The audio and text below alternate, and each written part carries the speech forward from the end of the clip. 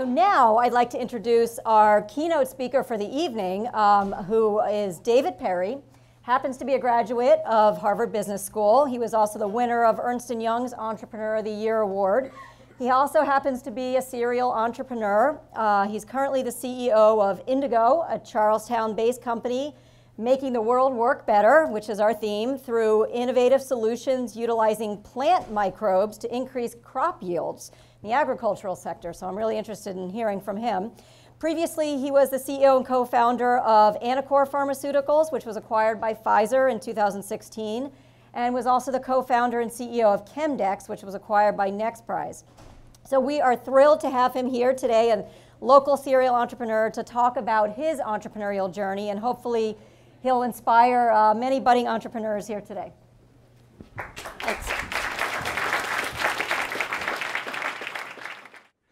Thanks, everybody. I'm happy to be here. Tonight, I'm going to go through a little of my background. I will introduce two companies I'm associated with, Indigo and Farewell. And I'll talk a little bit about uh, what I think are the most important lessons I've learned along the way. Brief background, I'm, uh, I grew up on a farm in South Arkansas. I, uh, I went to Harrison High School, home of the Fighting Goblins.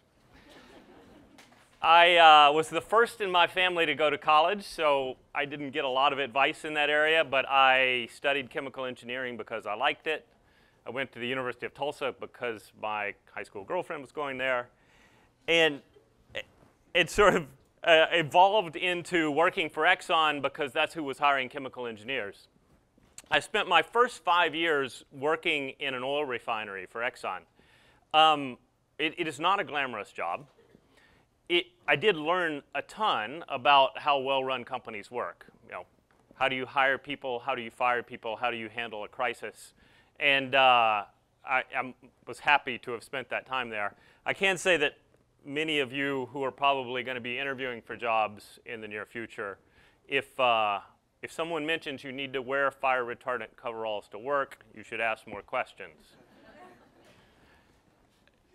so I, I, uh, after about five years at Exxon, I started thinking about looking for a more a, a high growth job, something with more sort of technology foundation, and concluded that I needed to get a, an MBA to do that. I, uh, I applied to Harvard, Stanford, and Wharton, and uh, Harvard was clearly my first choice, which didn't means that I didn't mind at all that Stanford turned me down. I, Harvard completely changed my life. Um, I mean, remember getting here, I'm a farm boy from Arkansas, a chemical engineer in Exxon, and suddenly I got a much better perspective on how the world works. Um, I mean, I didn't know anything about how companies get financed. I didn't know anything about management consulting. I had never met the people that I met here. Um, truly two of the best years of my life. And I, I came with the intention of either starting a technology-based business or getting involved with a technology-based business. And, in doing so, I wrote four business plans while I was here. And you, will see that this is a theme. I, um, the, the concept is that if, you have, if you're working on multiple things, you're, you're able to look at each of them more clearly. And uh, if you're only working on one thing, you're more likely to convince yourself to do something that, uh, that maybe isn't such a great opportunity. I, um, I co-founded a, a, company here with a couple of postdocs, one from Harvard and one from MIT called Virogen. That company is still around and it's in Watertown. And that gave me the idea to, uh, to found a company called Chemdex. I, I entered Chemdex in the first uh, HBS business plan competition and, and was a finalist there. And that sort of gave me the confidence to, to go and start the company. So that was 1997. And Chemdex was about business-to-business e-commerce. most of you don't remember early 97, but the internet was just beginning to be a thing. So Netscape had just gone public. Yahoo had just gone public. Um, Amazon was in existence.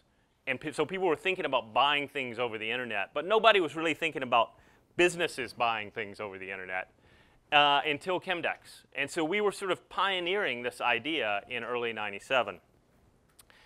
Unfortunately, I didn't have any money. In fact, I had less than zero money. I had deep debts from my, from my business school tuition. So I, I raised, raised $50,000.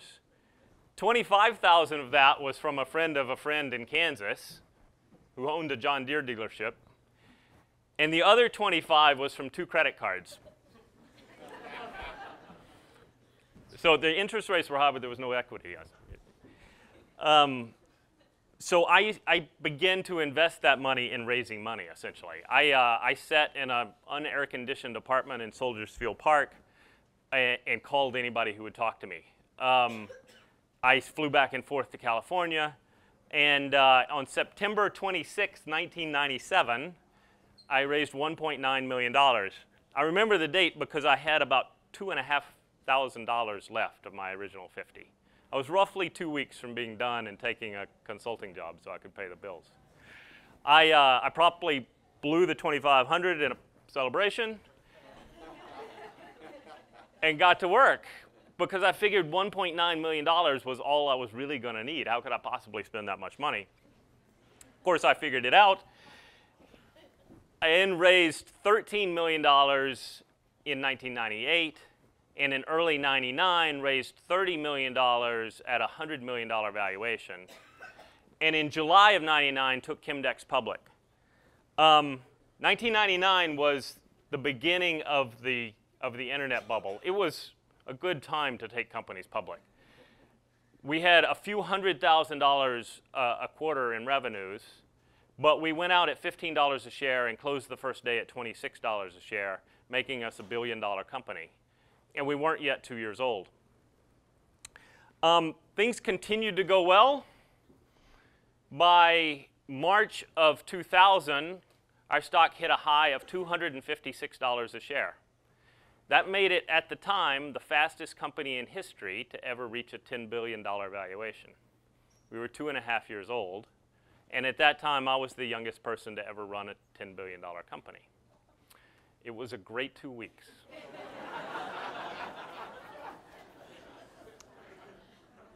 What, what followed was the hardest year of my life. I, uh, I fired 400 out of 500 employees. I bought back debt. I got out of joint ventures. Um, we, we ultimately sold Chemdex for $230 million. If you'd told me when we started the company in 97 that I was going to sell it four years later for $230 million, I would have been ecstatic. But that gigantic peak in the middle made it a much less satisfying experience.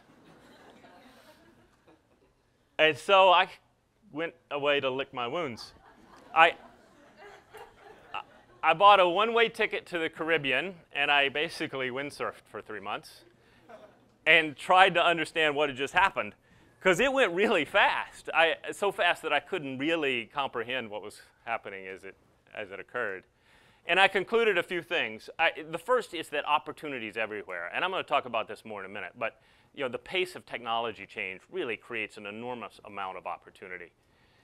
Uh, the second one was a really painful lesson, which is that you know, strategy is not that useful to you without execution. It, strategy is more fun. I, it, it, it gets the most attention, and that's what investors want to talk about. But I didn't yet understand how to make, make stuff happen. Like, how do you hire good people? How do you set up an organization? How do you get everybody pointed in the same direction and set goals? And, um, and I realized that if I was going to be good at this, I was going to have to learn how to be much better at execution. And then I concluded that you know, part of my nature is to work really hard. I had a, I had a bed at Chemdex. I, I didn't sleep there all the time, but one, once or twice a week I would. And if you're going to work that hard, you might as well be working on things that matter. And I, I sort of committed myself in the future that, you know, to only focus on problems that if I solved them, it would be meaningful. So I began looking for other companies to start. And I basically took the same approach. I talked to anybody who would talk to me, and I wrote multiple business plans. And I ended up, well, and I, I decided that I wanted to focus on a company that had these four characteristics. I wanted it to be a startup, in, in part because I wanted to prove that the first part of Chemdex wasn't a fluke, and the second part was. Uh, I wanted it to be in life sciences because that's the sort of technology I enjoyed the most. I wanted it to be in therapeutics because the idea of treating disease or preventing disease seemed like a worthwhile activity to me. And I wanted it to be a big idea. And we'll talk about this more in a moment, too. But um, I don't know. It's, startups are really hard. They're really hard whether you're working on a small problem or a big problem. So you might as well work on problems that if you're successful, you've done something worthwhile. In early 2002, I co-founded Anacor Pharmaceuticals. Anacor was based on a, a technology around boron chemistry. It's super technical, but it was a brand new way of trying to create therapeutics. And then I worked really hard for a long time. So from March of 2002 through November of 2010, we were a private company. So eight years, we raised $100 million. We made progress, but in 2010, we were still 30 or 40 people. You can fit that entire Chemdex chart into the left third of this chart. That's a lot of work with not a lot of recognition. And then we went public in November of 2010, and we were a $5 share of stock for another two years. So I've now got 10 years of my professional life invested in a company that's still not worth very much. It's really hard to know at the point before that, that line starts to turn upwards whether you're using your time well or not. Uh, we then got our first drug approved. We got data on our second drug. And Pfizer bought Anacor a few months ago for $5.4 billion. So, so it worked. but it wasn't obvious that it was going to work for most of that time. You know, if most of us get maybe 40, a 40-year career, I had invested a, you know, a, a quarter of that before I knew if it was going to work or not and I think the lesson to that is eh, if, you're, if you want to be an entrepreneur to either get rich or, or be famous, there are easier ways. Eh, you need to be really, you need to love what you're doing and be committed to your cause because there's a lot of times when you don't have anything else really going for you. So I then made another transition. Uh, I again, I had a lot of stuff to think about. This stuff was more fun. Um, and I traveled all over the place, starting with four weeks of hiking in Nepal. And I, I started with a clean sheet of paper and said, what do I want to do next? And the bar was, you know, it had to be better than nothing. I could go retire, or I could go back to work on something I cared about. And I decided to focus the next phase of my career on food and agriculture. Um, it, it stemmed from a, a, discovery I'd sort of made through figuring out what I should eat. Um, my dad had his first heart attack when he was 44, and, and I was 14. And that's, you know, it was a, a formative event. And my entire life, I've thought about sort of health and fitness and well-being. But it wasn't until three or four years earlier that I had really understood the role that food plays in all of that. And the more I understood about it, the more ridiculous what we were doing to ourselves seemed, where we as a society probably have more access to fresh food and healthy food than any other society at any other time in history, and yet we're choosing to eat in a way that makes our fat, sick, and die young. And so, so I decided I would see if I could address those problems. I, and, and I listed three. Know, one is how do we feed a growing population? because right now the population's need for food is growing faster than our ability to produce it. Two is how do we produce that food in a more sustainable way? I mean, most of the technologies that have gotten us this far are things like agricultural chemicals and fertilizers and GMOs, things that many people think aren't particularly good for our health or good for the environment. And then finally, how do we reverse the trends of, uh, of obesity and all of the metabolic diseases that come from that? So again, I wrote multiple business plans, and in this time, decided to pursue two. Uh, one for the bottom uh, question, which I'll talk about first, a company called Farewell, and then the company that I'm the CEO of that addresses the top two. So Farewell is a digital health company based in San Francisco. And it's intended to address the problem of the increasing problem of obesity. Today, 70% of Americans are either overweight or obese. Just let that sink in for a moment. That's two out of three people. Heart disease is the number one preventable cause of death, And 37% of us, more than a third, are either pre-diabetic or have phase two, type 2 diabetes. We also spend nearly $300 billion a year trying to solve those problems through uh, drugs, surgeries, interventions. When it could almost all be prevented by changes in our lifestyle. Studies show that if you just do these things, 80% of preventable disease, 80, percent of chronic disease can be prevented. The five things are eat a balanced diet, be active, and the bar for activity is really low, walking counts. Don't smoke. Drink alcohol only in moderation and maintain a healthy weight. Show of hands, how many people do all five of those? That's pretty good. If I took out moderate alcohol, how many people would do it? so, incredibly, less than 1% of the population does all of these things, which is why we have the aforementioned problem. If we, a little bit of prevention here can go a long way towards improving people's lives and reducing society's burden for solving these problems. So that's what we hope that Farewell will do. Farewell is only a, a year old, but we have physicians, health coaches, and digital tools that attempt to help people change their lifestyle, either around what they eat, menus, recipes, meal plans, activity, body weight, and activity tracking. It's early, but so far so good. Um, we've done five cohorts, 200 patients total. The first cohort's lost about 5% of their body weight over 16 weeks. We got better and better, and the last cohort's losing about 7.5% of their body weight over 16 weeks. And most importantly, hopefully, we're teaching them habits that they can go on and execute later in their lives. We have only about 10 full-time employees now. We've raised $8.5 million, and we're going to set out to raise about another 15 here in a few months. So that's farewell. I'm also the CEO of Indigo Agriculture. So Indigo is focused on um, improving both the sustainability and productivity of agriculture. And agriculture is the world's most important industry. So 40% of our global citizens work in agriculture. It supports about $5 trillion worth of products. And of course, it sustains every single person on earth. We've also, it's also a little behind the curve. So crop yields have been going up, but in the last decade or so, they're only going up about 1% a year. And if you project out to 2050, when we expect to have 9.5 to 10 billion people, that's significantly less than the amount of food that's projected that we'll need by that time. We're going to have to grow agricultural productivity by 70% over where we are today.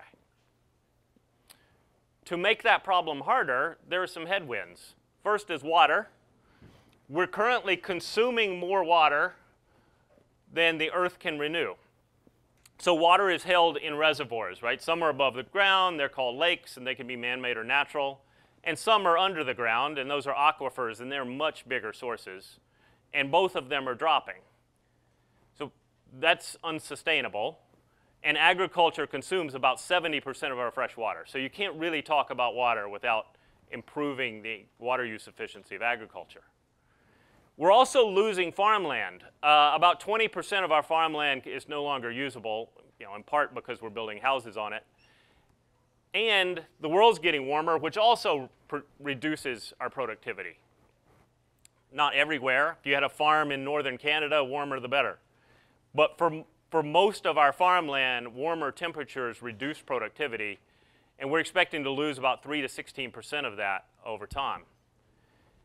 And modern technologies are less productive than they used to be. So we're not getting as much productivity out of agricultural chemicals and fertilizers and GMOs. So let's review. We need 70% more food. We need to do it while battling less water, climate change, and we need to do it while swapping out the existing technologies of things like fungicides, insecticides, pesticides, and chemical fertilizers because they're not good for us or the planet. So that's a real challenge. It's obviously one that requires new technologies. I'm, I'm a technology optimist, and I think we'll solve this problem. And, and Indigo's approach to this is to use the microbes naturally found inside of the plant, which are also called the plant microbiome. So the, the plant microbiome is a brand new concept, but it, it piggybacks on, a, on about the last decade's worth of work done on the human microbiome. So in the last 10 years or so, we've learned that the microbes that live in and on our body have an enormous impact on our health and well-being. In fact, you can take microbes from the guts of overweight mice and put them into thin mice and they gain weight, and vice versa. And there are credible studies showing that, that the microbes that live in and on our body impact our likelihood of getting diabetes or not, heart disease or not, uh, cancer, various allergies, and there are now many different therapeutic, human therapeutic companies that are progressing not drugs, but actually capsules of microbes. The idea there is that our microbiome works just fine until antibiotics.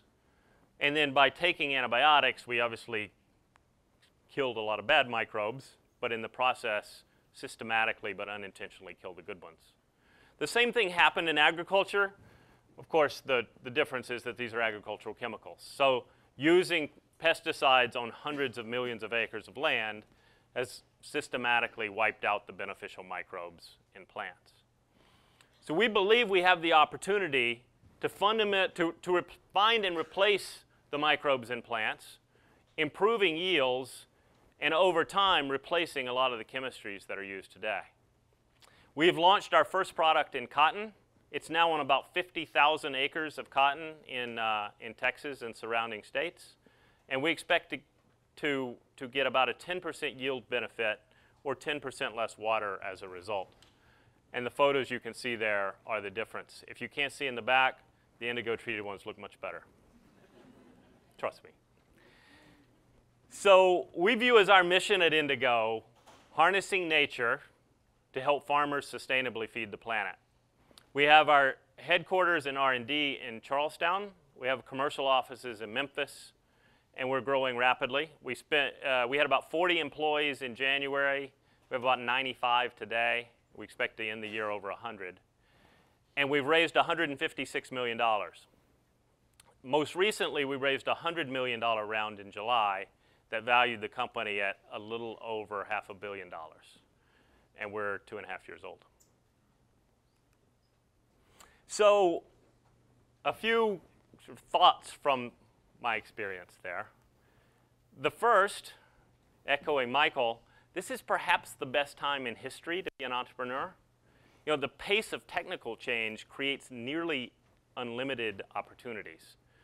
Oh, faster computing power, mobile networking, DNA sequencing, the ability to do machine learning on huge databases, these things are advancing faster than existing organizations can, can adapt to. And that creates opportunity everywhere, literally everywhere. Combine that with a society that, that values entrepreneurship right now and capital markets where capital is available for these things, there's literally no better time in history to be an entrepreneur. The second is create multiple options. I mentioned that before. If you create multiple options, you are able to look at each option with a clearer head. So write multiple business plans or write a business plan and have a backup job uh, in line because you, you want to make good decisions here. The worst thing you can do is not use your time wisely. So the risk is not failure. A failure you can bounce back from.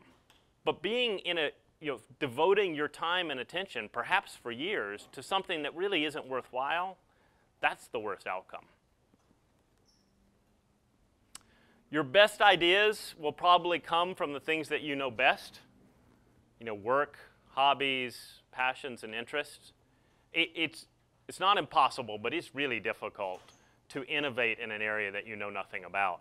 And if you look at big companies, there are just very few examples of it. Like the best ideas come when you can connect something that you know really well with a new concept. Um, if you say, but I don't, you know, I don't, I don't have those sort of experiences yet. That's okay. You can go find somewhere you can learn really fast, and then, uh, and then when you do have that experience, you'll be ready. Work on things that matter. It's sort of the the theme of the day. Um, often, I think entrepreneurs start with a smaller idea because they somehow view that as less risky. They think if I, if I start with this, then it'll be easier to execute on. I, I think it's often, it's often the opposite. You know, big ideas uh, get people excited. They attract capital and partners and passionate employees. And if you succeed on a big idea, it's fantastic. If you fail, well, that's sort of second best. At least you were applying your talent and your energy to a big idea. The worst thing you can do is spend your time on something where the, where the outcome doesn't really matter and you're not learning very fast. And finally, I encourage you to just think differently about risk. Um, when I graduated from business school, there were only a handful of us that started businesses. So uh, at that time, business school class was 600 and something, and I think there were five of us. And I remember when I talked to my classmates about what I intended to do, you know, they would say things like, wow, that's risky, or how can you afford to take that risk? And I was genuinely puzzled by the question because it didn't seem that risky to me. I mean, I wasn't using my own money, I didn't have any, so I was risking somebody else's money. I, I was going to get paid, so it wasn't like I, you know, I wasn't going to be able to feed myself. Um, I realized that it might not work, but I thought it was a big idea, and I thought I would learn really fast. And I realized that that they had a different view of their of their career than I did. You know, many of them had gone to the right prep school and gone to the right college, and then gone to the right banking or consulting or pre-MBA job, and then gotten into Harvard, and they were on a path that they viewed as really valuable, and they couldn't afford to take the risk to get off of that path. As a farm boy from Arkansas and a chemical engineer, I didn't have a career. I just had followed things that were interesting to me. And so, you know, the idea of trying something new and failing didn't seem very risky. And, and I would argue that that is true for most people. You know, the, the career paths that you think of as safe, you know, banks can downsize. I, those aren't necessarily low risk options. And as long as you're improving yourself at the most rapid pace, then you're advancing your career in the fastest way that you can. So, last thought. I ripped this off the internet, so it wasn't trademarked, but it did resonate with me. And it's that if you can find the thing that you love, and the thing that the world needs, combined with what you're good at and what you can be paid for, then you found your purpose. That, that's not easy. I, and, and, you probably, you know, you, you shouldn't demand that of your first thing. It's really hard to get there. I mean, you might not yet know what you love or what you're good at. But if you're learning at the most rapid pace you can, so that when this thing comes along, you're prepared for it, it's fantastic. Now, I was in my mid 40s before I got here, but I now wake up every morning grateful because I get to be right in the very center of that graph. And my most fervent wish for you is that you get to be there someday too. Thank you very much.